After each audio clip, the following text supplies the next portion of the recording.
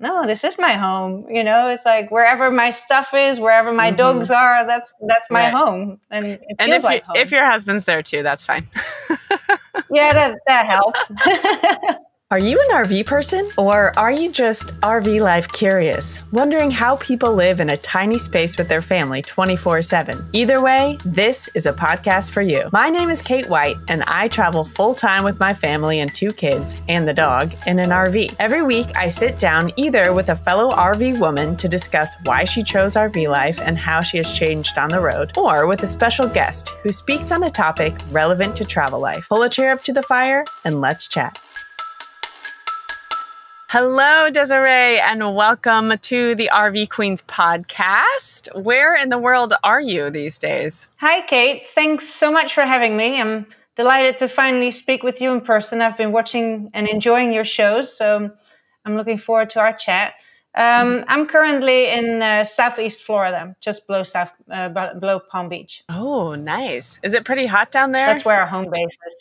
Okay. It is, but it's quite breezy. So it's actually, at the moment, it's really nice. The temperatures are just perfect. It's nice to go out for a walk. It's not too hot. It's not too yeah. cold. It's, it's just right. It's that time in it. Florida where it's just right. Man, I bet you guys have some great sunsets down there too. I always think that. yeah, that we do. We, and yeah, there's often a lot of color in it. Like you get some low cloud in the evening and it really lights up orange and purple. And Yeah. It's very, we live on a golf course, so you get really nice you know skies over the over the greens and yeah it looks mm-hmm. nice Ooh, that's the best. I love that about Florida. You have had some epic travels, and I'm really excited to ask. I have a lot of questions for you.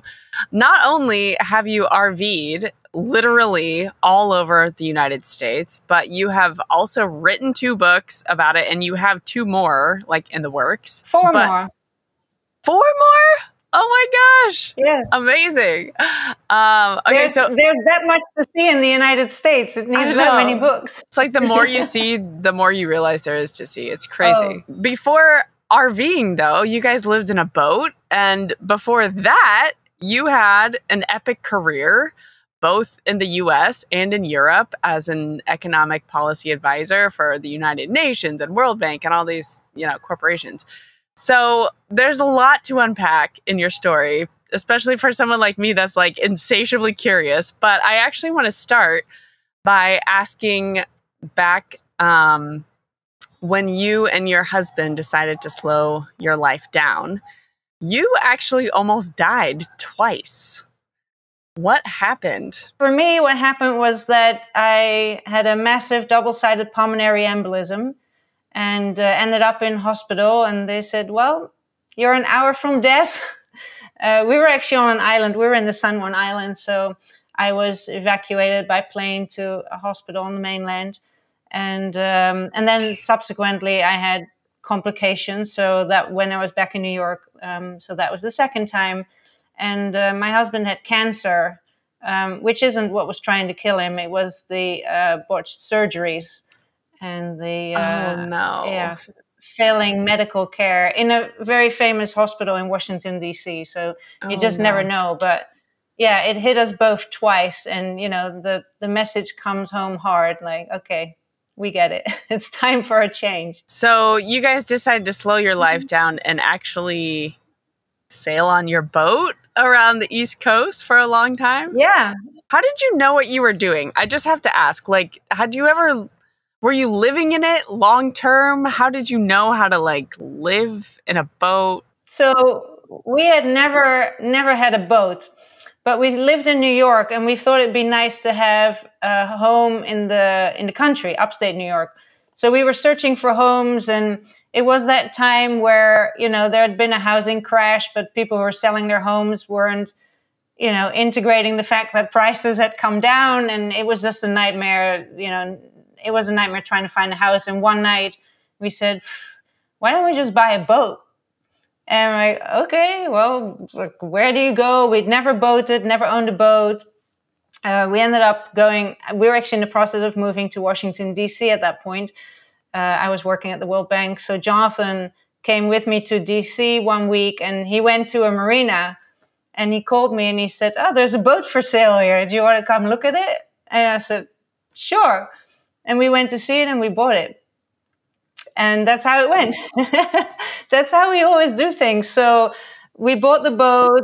Um, the insurance company made us take lessons because it was a 40 foot boat. Uh, so they made us take captain's lessons. I was actually the captain of our, our boats always. And uh, we liked it so much, we sold it and bought another one after six weeks. Uh, and then fairly quickly after that, we bought actually two other ones. So the one we ended up with, the longest, was a 60 foot boat. And uh, we spent, similar to what we do in the RV, we spent about eight months of the year in it. So we would go up and down the East Coast and in the winter go to the Bahamas and uh, just work from the boat. Oh my gosh. Okay, so so when you buy a boat, they make you take lessons. But when you buy an RV, no one cares. well, so this is actually interesting because when you, you, can buy a smaller boat with, you know, extremely powerful engines and that you don't have to take any lessons. Like you can literally throw the money on the counter and, and leave with the boat without any lessons. Um, but these boats, because they're, you know, much bigger and heavier and have a lot of power, then the insurance company steps in if you want it insured then you have to take lessons and you know sort of do a captain's certificate not really but um, yeah you have to know what you're doing when it's that big basically oh my gosh i love it and also i love that you were the captain of the boat yeah yeah it's funny because you know in a lot of places people were very surprised when they saw it was me at the helm. And you know, there was this place in the Bahamas. They always recognized me. That, oh, you're back. Yeah, it was a lot of fun. And a lot of the guys were like, "Oh, is you know, is this gonna go okay?" And but I've I've never ever hit anything, and I've seen a lot of guys hit a lot of stuff. Mm-hmm. So mm-hmm. you know, we could talk on that topic for a long time. yes. But I'm gonna keep us moving. So you get so you end up in Florida around 2020 and everything changed when COVID hit, obviously. How did you yeah. guys end up in an RV? Totally by accident. We so we never spent the summer at home because we were always away on the boat. Um, and when COVID hit, that was the first summer we were at home. We we're like, we don't want to do that. Florida is not very nice in the summer. We don't want to spend another summer at home. Mm-hmm. Um, and we wanted to change from a powerboat to a sailboat. So we had sold our boat literally just as, as COVID hit. And then, you know, a lot of people didn't know where they could go. Marinas were closed. There was so much confusion. We're like, well, we're not going to, you know, we're not going to buy another boat right now. Um, but then hurricane season came around, and you know we're home in Florida now. We had four dogs, and at the time also three rabbits. And we thought, well, we we need a way to evacuate, you know, in a COVID safe way with with all the animals. So, well, I guess we should buy an RV. And uh, I think before that, honestly, you couldn't have paid me to get on an RV. It, like mm-hmm. it never even occurred to me, yep. you know, anything to do with RVing. I don't think I'd ever been in an RV. Uh, but so we decided to buy one. But the problem was that just about everybody else in the United States had the same idea, and there were no RVs anywhere. And uh, we would phone around, you know, all the dealerships, and like the RVs were already sold before they even hit the lot. Um, and then finally, one dealership in uh, Jacksonville, Florida, called us and he said, "Oh, I have one coming in. It's not sold yet. Do you want it?" And we're like, "Fine, we'll take it." and uh, it was a 17 foot travel trailer. Oh my and, gosh. Um, yeah, they delivered it to the house actually. And uh, we're like, well, how does this work? And so I Googled something like, you know, how to hook up an RV or something. And uh, KYD's video popped up, you mm-hmm. know, the RV for newbies or wh- whatever the video was called. And uh, we started watching their videos and you know and they suggest other things you might like and there were all these travel videos and um, like oh it's kind of nice you know a road trip sounds like a nice nice idea. There's so many people doing it. Let's do it. So we took it on a you know a small test run first to make sure everything was working. And then we went on the road trip.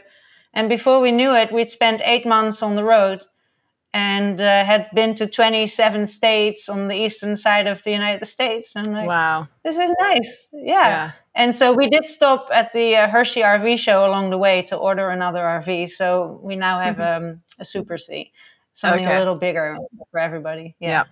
but yeah, so it was completely accidental. It wasn't pl- just like with the boat. It wasn't planned. It just happened, and we liked it. And you know, we always go full in basically on on everything we do, and decided to go explore the country. Why not? We're not. We're not like I'm from Europe. I'm from the Netherlands. Jonathan is from the UK. Um, he actually recently became American, so Aww. so that was nice. um, but yeah, so it was great to go see so many places. You know, both places that were iconic, especially to foreigners. You know, there's so many places that from being a child and seeing things on television, it's like, oh, the United States, you know, there are things that are just so representative of it, that, mm-hmm. you know, and then also a whole bunch of other things that, you know, you discover along the way and hidden gems and, oh my goodness, there's so much to see and there's some and the national parks and everything. It's just incredible. This country has so much. Yeah, I agree. And even growing up here, I'm like, I didn't realize how much there is until we started traveling full time. yeah. Well, it's, it's funny because now like there's so many like American friends that we have and they're like, oh, we have never been there. We've never mm-hmm. been there. Or, you know, what's that? Never heard of it. So, right. Yeah, right. it's nice. Um, so actually, that's one of the things I hope my books will do as well, like for people to discover, you know, places they've never heard of, they've never seen, never considered going, maybe a state that they, you know, never considered going to see. And it turns out there's a whole bunch of nice things for pretty sure. much everywhere you go. Yeah. And that actually yeah. leads me to I was about to ask at what point did you decide to write a book and photo like decide to publish your photos of your travels? Yeah. Well, I always took a lot of photos because my father was elderly and he lived in the Netherlands.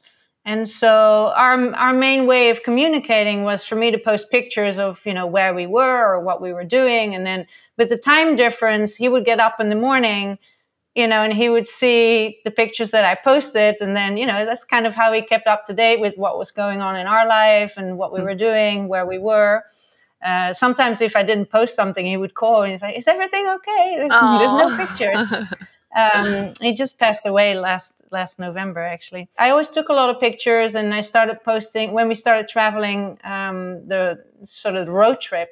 Uh, I started posting little bits, you know, this is what this is, and a little bit of background information, and then more people, you know, got interested, and I got quite a bit of feedback, and I started writing more, posting on Instagram and uh, you know people were saying oh why don't you write a book? And then i thought yeah why hmm. not? Why don't i write a book? Yeah. And uh, and so that's when i started thinking about you know what that would look like or what i would want it to look like and what i would want to do with it and achieve with it. So that's how the idea sort of gradually came along. That's beautiful. And you know i think there's like a nugget of wisdom in there because i've heard i i can't remember who i heard this from but you know, when people want to write a book or want to be a speaker or, you know, whatever, even if they want to start a social media channel or being a content creator, I've heard that the best way to focus in and really like find your voice is to pretend that you're speaking to one person. Like think of one person in your mind that you want to talk to. So I kind of love that it started off with you posting and writing um, descriptions of where you were for your father. Uh, and then it kind of like grew from there. I think that's really beautiful. I was glad that my father was able to see the print proofs of the books just before Aww. he passed like literally yeah. the day before he passed away i received the print proofs so obviously i was here and he was in the netherlands so i recorded a video you know of me flicking through the books and my sister was able to show that to him so um, that meant a lot that he was able to see it. Unfortunately, he was never able to hold a copy of the book, but at least he, you know, he saw that it came it came to life. That's so sweet. So I have a question, and it might be a dumb question, and I also hope it's not offensive. There's no but, dumb questions. you know, that's what people say, but no, just kidding. Uh, you are originally from the Netherlands, as you said. I'm curious why you titled your book about traveling the US the long way home? I've lived in different places, and I think wherever I lived was usually my home. Um, but the long way, we t- so I called it the long way home because every time we were going somewhere, you know, we, we never went home. We're like, oh, that's interesting. Let's go there too. And oh, that's nice. Let, let's do that too. And then there was a song. Um, it's called what's it called? I think it's called "Running in Circles" or something like that by Sunny Cleveland. And in the lyrics, it says, "Let's just take the long way home." And I really like the song, and it's like that. You know, the long way home is basically what we do. We're always taking another detour to go see something else before we go home. So that's why I call it the long way home. Because wherever you are, you're home right? Yeah, especially with your. That's it. Always amuses me because people always say, you know, when we're traveling, don't you miss your home? And I was like, no, this is my home. You know, it's like wherever my stuff is, wherever my mm-hmm. dogs are, that's that's my right. home, and it and feels if like you, home. if your husband's there too, that's fine. yeah, that that helps. oh, it's so funny you said my stuff and my dogs. well, it's you know kind of included in the game. Yeah, yeah, and he and he's there too as an accessory. Yeah, that's right. Yeah. okay, so I have a ton of questions about your travels. So I thought I would ask them kind of in a rapid fire set of questions sure. so I could actually, you know, get them asked in a timely manner. Okay. Mm-hmm. So, have to this is probably everyone's first question for you, but what is your favorite state of the lower 48 that you've been to? The dreaded question. um, it's such a difficult yeah, it's such a difficult question to answer. And I think, you know, it's always like a cheating thing. Well, it depends. So, you know, there's, there's, for example, Florida is great in the winter. Uh, it's hard to beat Florida in the winter.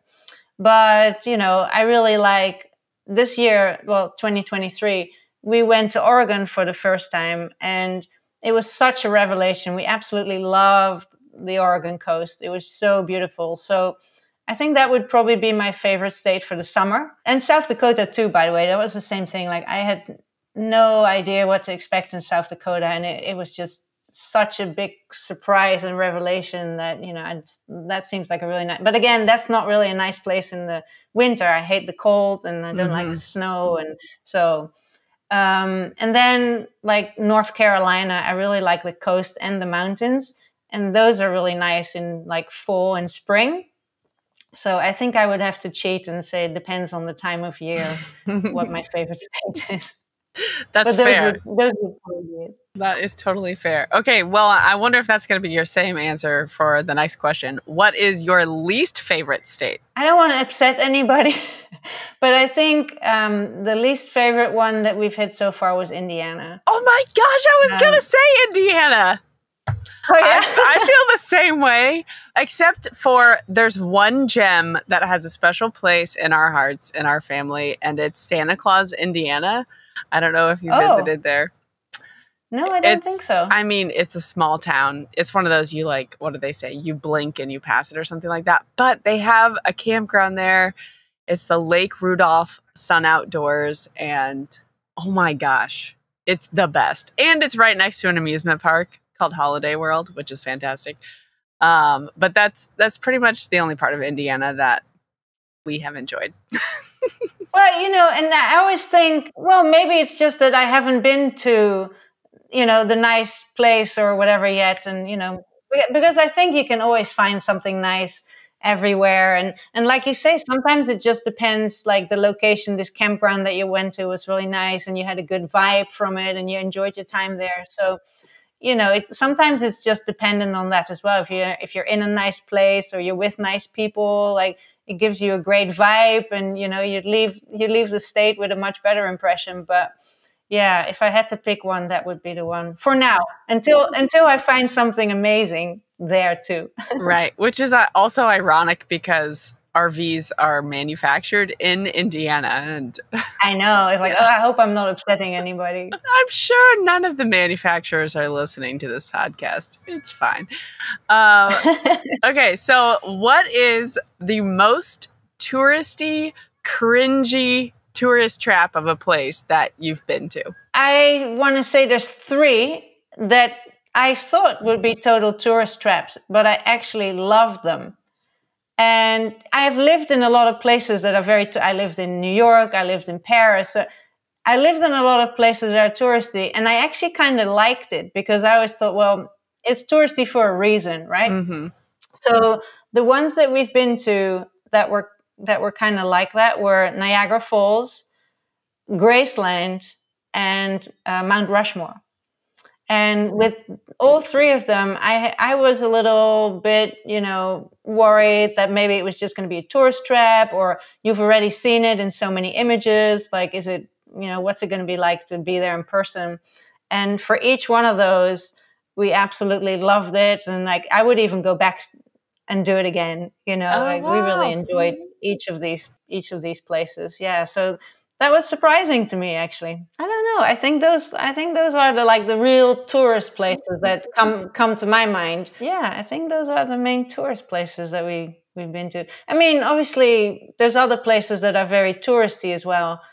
Most of the national parks you know if you go at the wrong time you can barely move around. Um, but you know I wouldn't consider them tourist traps what about you? What are what's the tourist trap that you've been to that made you cringe? Well, Pigeon Forge, but man, I was just not prepared. I think part of it is like you said, like I had built it up in my head and then I got there and I was like, "Oh, this is what's going on here." Uh-huh. It's just like everything costs a bajillion dollars and everything's fake and everything's just it was hard to find even like a local coffee shop you know or right. like anything that felt real and authentic it's like no yeah. lots of chains lots of even like chain tourist thing you know like ripley's yes. i've never seen more ripley's whatever than yeah but it's funny you saying that because I had never heard of. Uh, this was the first year we were traveling. I had never heard of Pigeon Forge, like literally never. Okay. And we were driving over. Um, we were staying in Townsend to go to the Smoky Mountains, and uh, we came over from North Carolina. So you know, you drive through the beautiful countryside mm-hmm. and mountains, and it's all green. And and we arrived in Pigeon Forge, literally never having heard of it. And all of a sudden, I'm like, that's an upside what down house. Like what? What? That's a Titanic. Oh, there's like a big gorilla. Where are we? What is this place? Like I felt like it was like mm. the Vegas Strip in you know in the middle of nowhere. And of course, then I started looking. Oh, what's Pigeon Forge? Oh, okay. And I yeah, Pigeon Forge is special, but it did inspire us to go to Dollywood. And mm-hmm. I'm I'm not a theme park person, but I love Dollywood. Yeah. Um, so yeah, again, you know, we found something nice there too. But yeah, right. it was a huge surprise. I'd never heard of it. Drove into it, not knowing where the heck we were. And it's like, yeah, wow. The Smoky Mountains are definitely the redeeming factor, in my opinion. And we were there in October, so I mean, the scenery was just like beautiful. Yeah, the full colors. So, yeah like you like you're Mountains saying was a bit of a tourist attraction though it's the biggest the oh, most yeah. visited national park yeah and we made the mistake of of like you know going on a hike on a what Saturday afternoon in October, and we sat in traffic yeah. for two hours on the way there and two hours on the way back. Yeah. So, but the hike we took no was parking. super epic. Right, we had to park like half a mile. Well, I should say my husband had to park like a mile away. walked over to where we were. Oh yeah. man. So I think uh, like what you're alluding to is like your attitude is everything, you know? If you're always if oh, you're looking yeah. for the good, then you'll find it no matter where you are. Yeah, I think a lot of it is about expectations and I think sometimes you just have such high expectations that even if it's nice, you can feel like a little disappointed.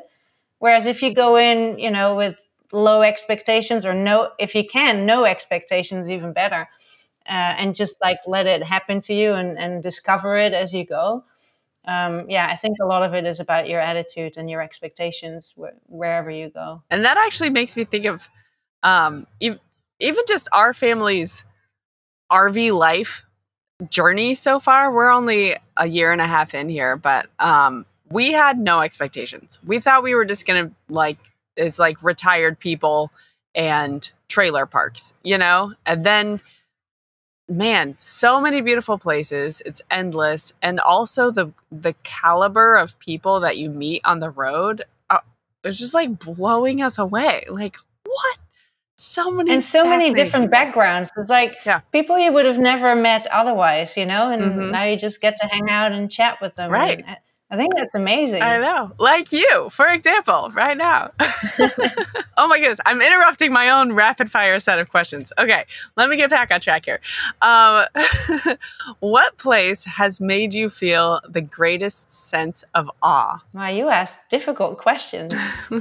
um, Yellowstone, like some of the natural features that Yellowstone has, it's just so unique. You see it nowhere else just to see, you know, Grand Prismatic, if you go to that viewpoint and you look down on it and you see those bright colors and and the geysers and these fields where there's like steam popping out of the ground everywhere. It's yeah, it's definitely awe-inspiring. Or Bryce Canyon and you see the come the sun come up over the Hoodoos in the amphitheater. It's yeah, it's amazing. Like and and, and again, it's so unique. Like there's a lot of different things you can see in Europe, but you know you don't find that in europe. It's just so unique. Glacier mm-hmm. like we did some of the hikes um, like the avalanche lake and hidden lake and the scenery like it really takes your breath and the, the, the glaciers obviously it takes your breath away. The, i think the the natural beauty is just absolutely amazing. And on a different like it's not the same kind of oh but like we did route 66 last year and route 66 is one of those iconic, you know, the ultimate American road trip that I think most foreigners actually definitely aspire to, probably even more than than Americans. And you meet so many like foreigners on on Route 66. But it was something that had been such a big thing in my head.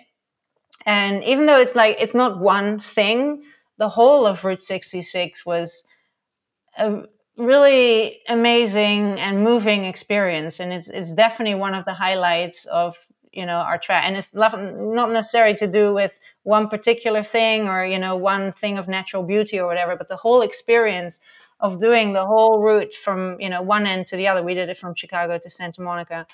And everything you meet along the way the people you meet along the way both the locals and also all the other people who are traveling the road and all the roadside you know attractions and all the americana but also this you know really rich and important history of you know the economic migrants who traveled west you know not knowing where they were going but in search of a better life. And yeah it was really an amazing experience.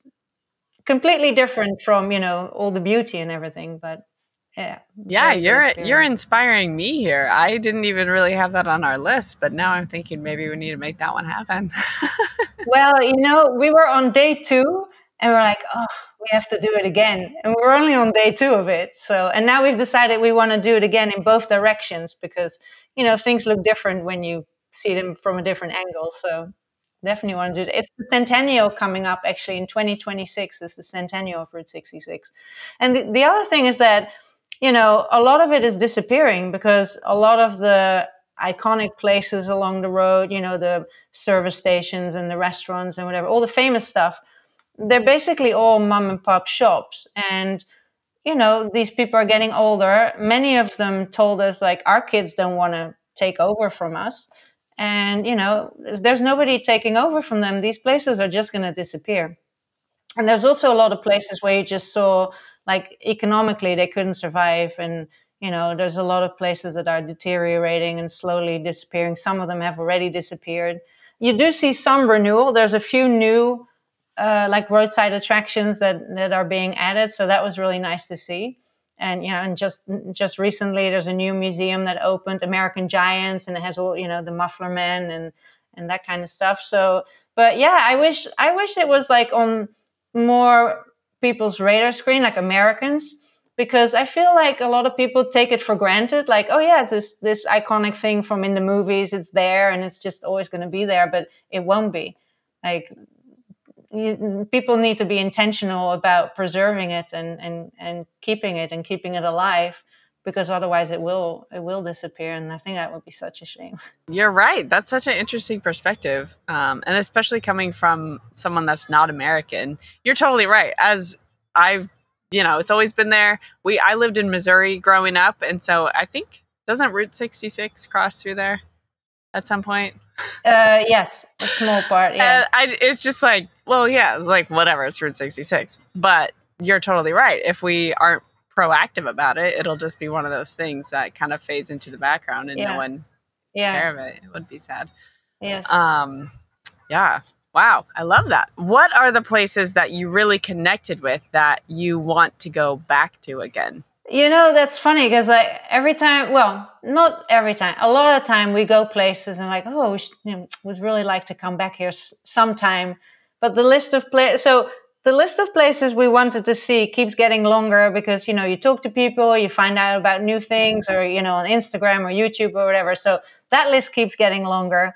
And then we have this list of all the places we want to go back to sometime, you know, and that gets longer and longer. So it's kind of hard, but yeah, you know, well, the Oregon coast was an obvious one. It's like I have to, I have to go back there. It's so beautiful, and like there's such a nice vibe there, and you know, it'd be nice to spend some more time there, not always being on the move, and just maybe, you know, have some time to discover more of local life. You know, what that would be like.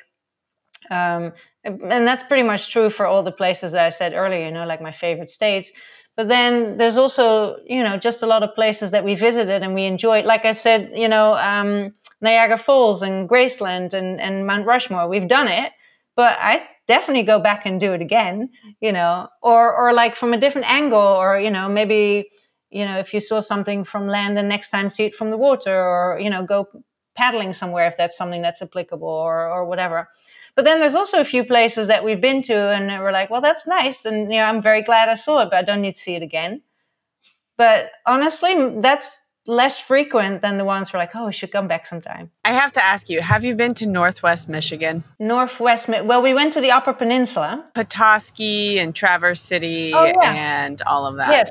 Man. Yeah, we went to all of that as well. Yeah. Okay. So that was one of the first things that got us on the road because um, there's a tulip festival in Holland, Michigan. Oh, and we're like, well, we're definitely not. Yeah, we're like, well, we're definitely not going to make it to the Netherlands this year because it was COVID and we couldn't travel. Uh, so like, well, the closest thing we're going to see, you know, that looks like tulips and a windmill is going to be Holland, Michigan. So that was one of the like one of the big things that we started planning the road trip around. It's like, when is the tulip festival in in uh, in Michigan, and and let's go there. And uh, we'd never been to uh, Lake Michigan. So, you know, we did all those places along the shore of Lake Michigan and Mackinac Island. And then we did go also to the Upper Peninsula. Absolutely loved the Upper Peninsula.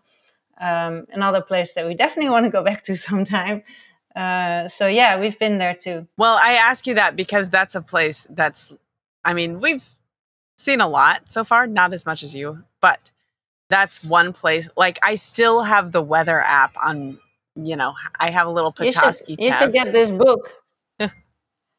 as we This all should. The whole, the, yeah, you should all should. But this one has the whole um, trip that we did in Michigan. So the first, like the first trip that year, 2021, the most, the states that we spent the most time in were Michigan and Maine. And then I think we ended up actually also spending a lot of time in in, um, in North Carolina. But this one has like all the places that you just mentioned um, in Northwest Michigan, around Lake Michigan, um, Mackinac Island, Detroit, and, and the Upper Peninsula, all the places we went to there. It's amazing. It's another one of those, oh, wow, places, definitely. When is your book uh, that includes the Oregon coast? Which one is that? And when's that coming out? That'll be not this year, but next year. So um, the book that I'm working on right now, that'll come out later in the year, is our trip that we did of the Midwestern Mountain States. And then the the one that comes out the year after that, we did the Kentucky Bourbon Trail, which was really fun too, and Route 66, and then the Western States, and a whole and a whole bunch of other stuff. Like we went we went and checked off a bunch of things that we weren't able to include the first time. Uh, actually, both in 2022 and 2023, we went to the Balloon Fiesta. So there's some stuff about the Balloon Fiesta as well. Uh, but so yeah, the Oregon coast will come out next year. Dang, I was hoping it was like this month because we're we're planning to head that way at some point this year.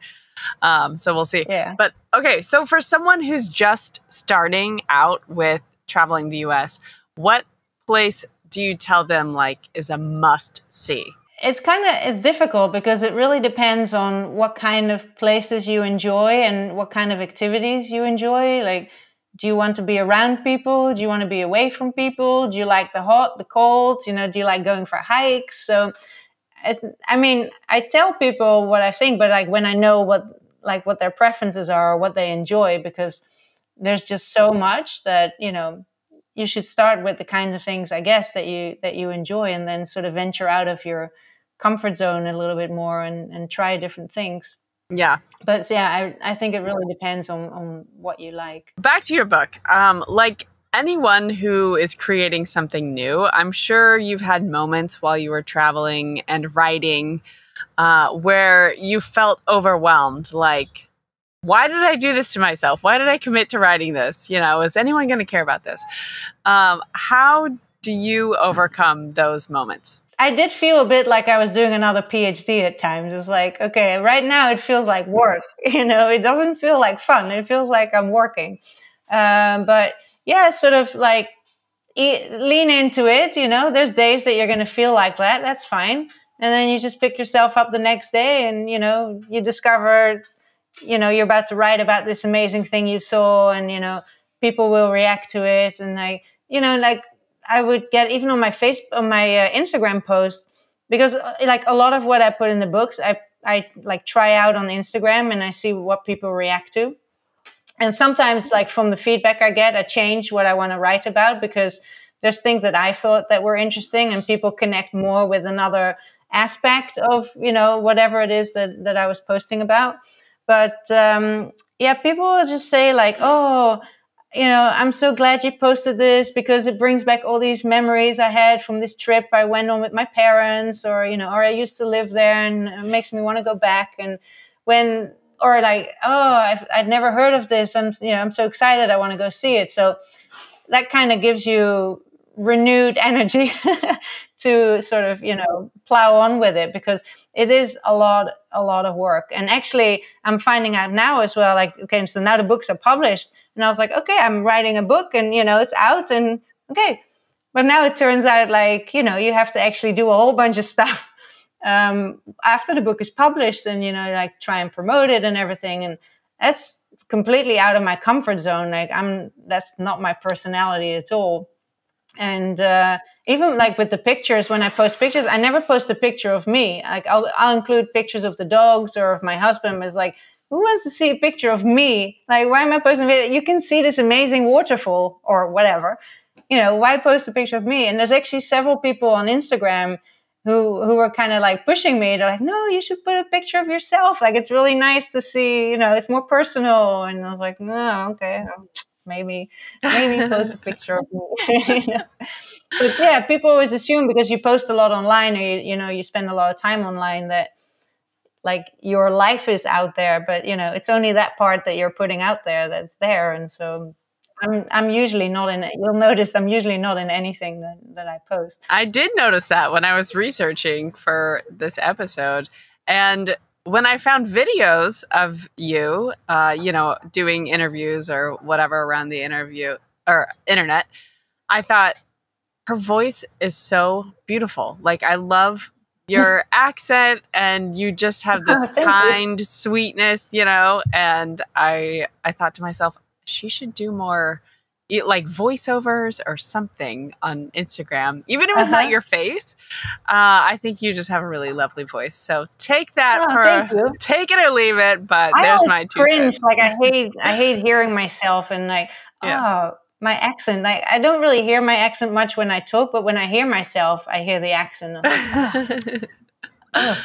uh, I love it. I think it's refle- refreshing. So there's my two cents. Well, you know, it's different, and you know, one of the things that's nice about the United States is that there's so many accents even within the United States that mm-hmm. you know it's it's just another accent. I guess it's just because you're foreign. I guess you kind of feel like it's different or you or it stands out more, but honestly mm-hmm. there's people who speak english and i'm not really sure what they say sometimes right. you know it's like my ear really needs to adjust to whatever the accent is so just uh, there's so many accents here anyway, yeah. so. yes my husband is the worst at that. He's if we go to an area where people have a really thick accent, I have to be his translator. He's like, I really can't understand what they're saying. And my my husband is the same. Like I can't understand, and I kind of look at him like, what what did he say? Like it's so embarrassing. Or if I think, okay, I think I know what he said, and then I answer, and it's like completely right. not what they asked. it's so embarrassing. like, oh yeah. I wonder Sorry. if Google Translate has like a you know, a dialect. it's still yeah. English, but I just mean, yeah. Or even sometimes it's the intonation. Like you, you really have to adjust to like how they're speaking, and you know, some people it's really easy, and others just like, well, it doesn't like it doesn't want to enter. You know. Okay, so I have a couple of questions uh, before I have you share how people can connect with you online. Whenever you think back to Desiree before RV life and and really like back before sailing life and when you were still working your career when you think of Desiree then and now what has changed back in the day you know there's a culture where you have to be always busy. If you don't if you don't look busy or you're not busy then you're not important you know. Especially the the places i worked you had to be traveling all the time. If you weren't traveling you know you weren't important.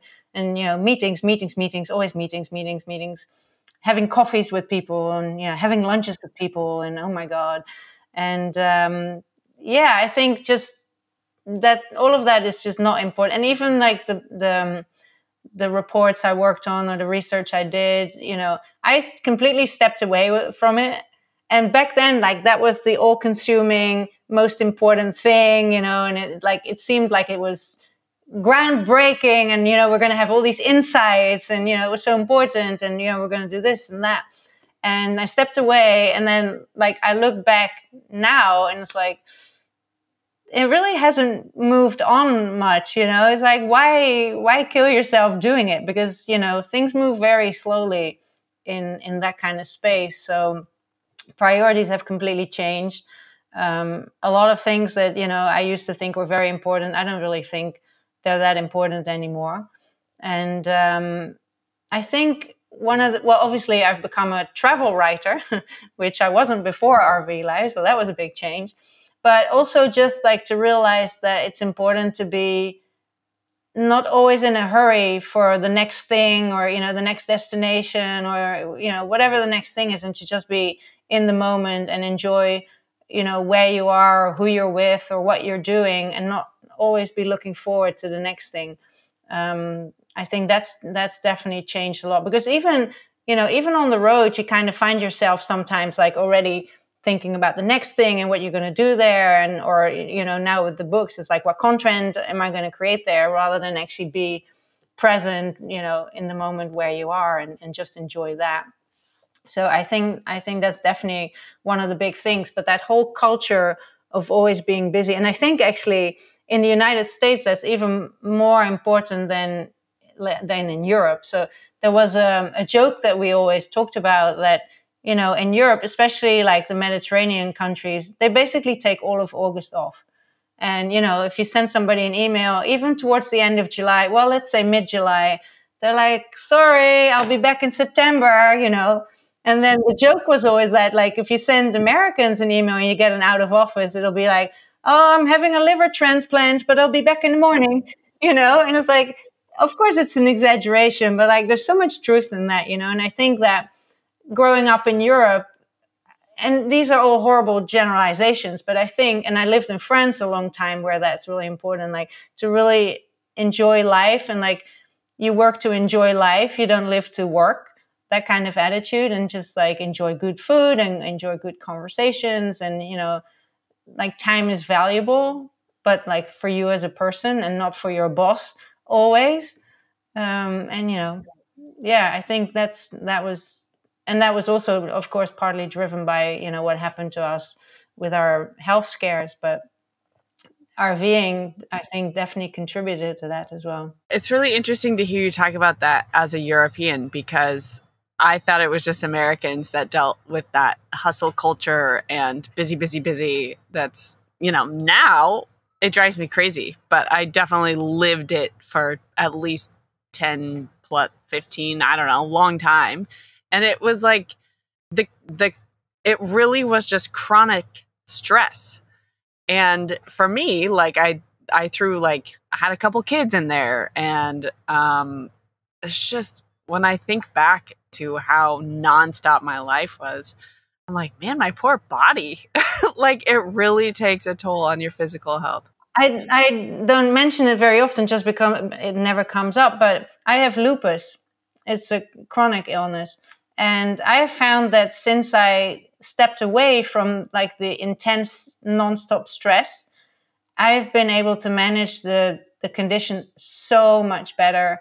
I have way less flare ups. Now, if something happens that, you know, causes a lot of stress, if there's particular things you're dealing with or whatever, I can immediately feel it. Like I know I have a flare up of my lupus. So it really is a really stark reminder of how bad stress is for you and your body. And, you know, that's just not in the culture. You know, people are not raised to, you know, be aware, be aware of that. And actually, you know, you're kind of encouraged to embrace it because yeah, like being stressed means you're busy and you know that means you're important or you're doing it right or you know, um, it's a real mindset and a something that you have to be very intentional about. I think be intentional about you know what you do with your time and you know when you go out exploring or you know whatever whatever it is that you choose to devote your time to. You don't get your time back, so you know it, never comes back. So you have to spend it wisely. Right. oh, I love it. Okay, the slogan for this show is a podcast about unexpected riches. And I'm curious to hear what is the unexpected richness that you have found from RV travel life? I think there's two. One is the kind of obvious one. It's like all the people you meet on the road, like there's it's yeah what comes from that talking to people everywhere so many different backgrounds people you would have never met otherwise you know that's just amazing and like you don't find that easily in any other way we had it a little bit with the boat as well but that and actually that brings me to the other richness i think just the sheer flexibility that you get from rving you can literally decide at any point in time i want to go there and you pack up and you go. And there's basically no restrictions on where you can go other than okay you know it's the united states canada or mexico basically. But you know it's unlimited within within that giant territory. It's unlimited. You can literally go anywhere you want. We had it a little bit on the boat but you're tied to you know the locations on the coast. Whereas i find now with the rv we can still go to all those places that we went to by boat but you can't go by boat to most of the places you know that you can go to by rv and just that flexibility and the you know the richness of the of the choice you have in front of you like where you get it's it's even a little overwhelming. Like you have to really break it down and you know sort of figure out you know what's important what you want to do first and where you want to go next. And like we were saying you know that list is just growing growing growing. So yeah i think that's definitely the the, the ultimate flexibility that you have when and i like it when people complain you know i see people complain online it's like you got wheels. Leave. Like you don't like it. Leave. Just leave. You're not happy here just keep keep the train moving amazing so what is next for you and and the beagles and jonathan well um, we have our had our itinerary planned out completely booked you know reservations made ferry reservations made. We were going to go up the East Coast to Canada and do Atlantic Canada, Nova Scotia, Newfoundland, Prince Edward Island, uh, Quebec, Montreal, Toronto, all those places. Um, but I have literally just before the podcast, I heard that um, I'm going to be doing a very exciting project. I can't share it just yet. Hopefully, I'll be able to share it soon. And it basically means that we're scrapping the itinerary completely and uh, and starting over. So hopefully I'll be able to share soon what that what that's going to entail. That is so exciting. Let me guess. Does it yeah. start with an N and write rhyme with Netflix? Just kidding. You know how to answer no. that. like where are you going with that? Uh, no. what rhymes with Netflix? yeah. yeah. No, it's it's about another it's about another book. Okay, that's um, awesome. Yeah, I'm happy for you. Exciting. Okay, well, please tell us where can we find your book online and also where can we just connect with you on the internet? So I post on Instagram as at RV Cruising. And our website is thelongwayhometravels.com and there's information about the books there. There's also information there about you know the other trips that we've been on. There's a ton of pictures from you know each year that we traveled. There's pictures about the dogs and you know a little bit of information about the dogs. And there's an interactive map as well. You can see you know all the places that we've been to. Um, and then the books. So i just wanted to show them. They're available on um, this is part two. And that's part one uh, they're available on Amazon, Barnes and Noble, and Walmart. Yeah, and we'll put all those links in the show notes to make it easy for audience members. So, man, thank you so much for being on the show today and for sharing oh, your thanks life. for having me. It was so fun chatting with you. Yeah, and your book is beautiful. Well, hopefully, I will see you on the road at some point. Yes, I hope our paths will cross somewhere. I what are your so plans well. for this year? Where well, are you headed? it's actually similar to the plans we had last year before our RV just did not want to work ever. So we're planning to go west up through South Dakota, kind of like you mentioned. Um, I think it would be super fun to be at Mount Rushmore by July 4th because I've heard they do like a big to do there. So I'm just putting that out there that it's going to happen this year. Nice. Um, yeah. And then, you know, go see some mountains and stuff. Uh, itinerary to be determined because I'm not yeah. the best at planning. So go see some Well, cool stuff part of out the west. part of the fun, right? Like you, right. you have a blank canvas and you can do whatever you want. Like, Right. the- I think the trip planning is definitely part of the fun. Right. It's overwhelming to me though because there is so much to see, and we like to stay about two weeks at a spot. Uh, Mhm. So you know, it's like if we see everything, we're going to be there for about twenty years, uh, and let's Yeah. fit it into like six months. Yeah. yeah. Uh, Yeah, I mean, we've moved quite quickly because, like, we've been to all of the lower 48 now. So obviously, we weren't able to spend as much time as we would have liked.